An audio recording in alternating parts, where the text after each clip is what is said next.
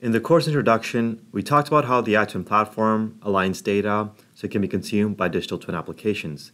Now, in order to better understand that, we need to learn about two major concepts that make this platform really powerful data federation and synchronization. Now, synchronization is a process of uh, translating and aggregating design data from various formats and sources such as Revit, SP3D, AVEVA, DGN, etc., into a common cloud-ready format that can be collectively understood by the iTwin platform. Synchronization is what's responsible for bringing design data into the iTwin platform.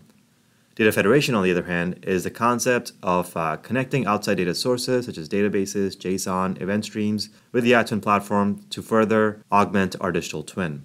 This means we can connect to data sources living elsewhere in the cloud, thus enriching our digital twin beyond just design data.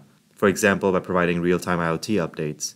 We're going to cover data federation in more detail in a later chapter in the course. These two concepts together do most of the heavy lifting of bringing and enhancing data in the iTwin platform. Now in this chapter, let's look at the synchronization process in action and start by taking a tour of the DGN house model that we're going to be using in this course.